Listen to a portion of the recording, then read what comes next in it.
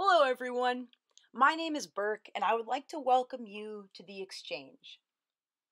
Today, we'll be reading a story by a brilliant illustrator and author, and you'll have the opportunity to exchange your artwork with students from across the country. So, what does the word exchange mean? Well, to exchange something is to trade it.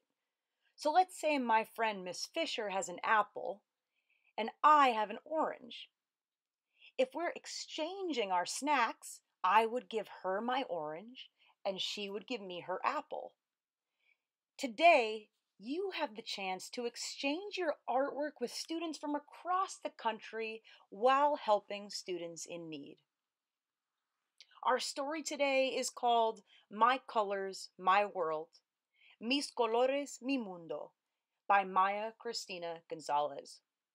This is a particularly special book because it is written in two languages English and Spanish. This story is about Maya's experience as a young child growing up in the Mojave Desert, which is in the southwestern region of the United States. As you can see from the picture on the right, the Mojave Desert is a dry, sandy place, and oftentimes sandstorms sweep through Maya's town, leaving everything covered in sand, everything the same color. And she has to find the colors in her world. Again, the name of our book today is My Colors, My World, Mis Colores, Mi Mundo by Maya Cristina Gonzalez. Sometimes in the desert where I live, the wind blows very, very hard. A veces en el desierto donde vivo, el viento sopla muy, muy fuerte.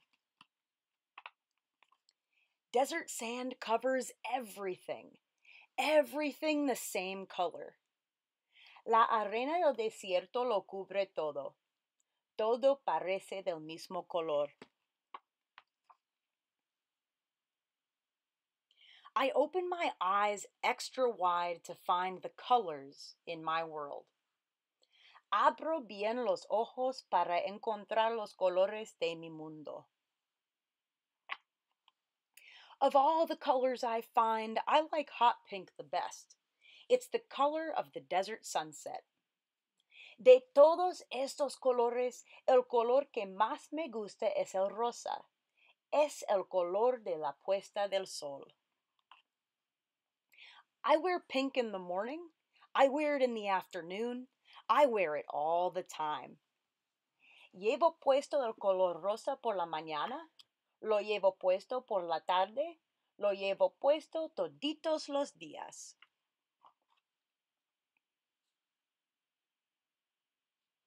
On hot days, I go to the shady side of the house. I make mud pies with squishy brown mud and orange marigold flowers. Cuando hace calor, voy al lado sombreado de la casa. Hago pasteles con el lodo suave, de color marrón y con caléndulas anaranjadas.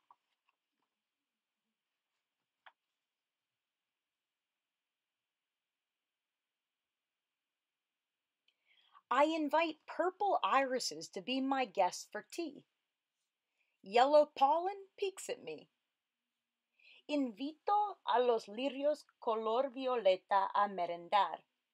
El polen amarillo no me deja de mirar. Back on the sunny side of the house, the cactus grows green and sharp. En el lado soleado de la casa, el cacto crece verde y afilado. In the backyard, I sway on my swing. I helped my papi build it and paint it the perfect shade of red. En el patio me meso en el columpio. Ayudé a mi papi a construirlo y a pintarlo de un tono de rojo perfecto.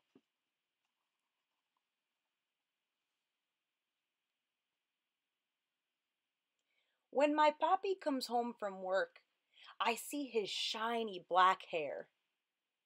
Cuando mi papi vuelva a casa del trabajo, veo su pelo negro y brillante.